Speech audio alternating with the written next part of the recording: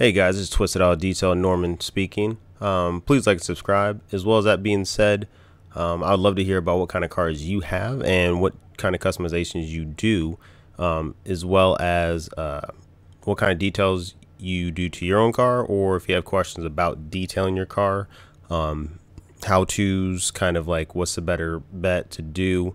Um, that's pretty much my game. Is I'm very invested into cars uh, and then people. But I love people that are invested in their cars.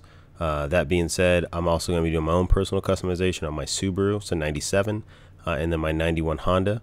Um, I like older cars. One, uh, I do uh, rebuild stuff like that on my own personal time because it's uh, entertaining to me and I enjoy it.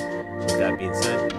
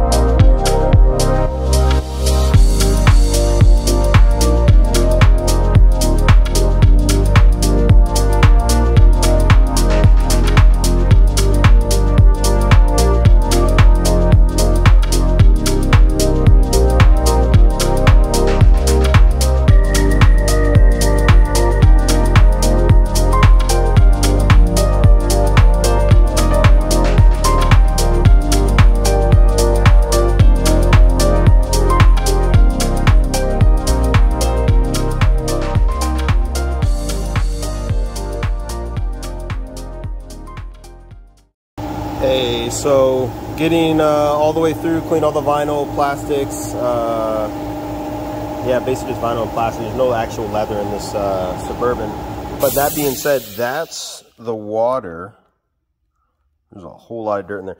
That actually came from the plastic. So when you think your car is clean just because you wiped it down and do-si-do, uh, you probably didn't do as great of a job as you would hope. Um, that just being said, uh,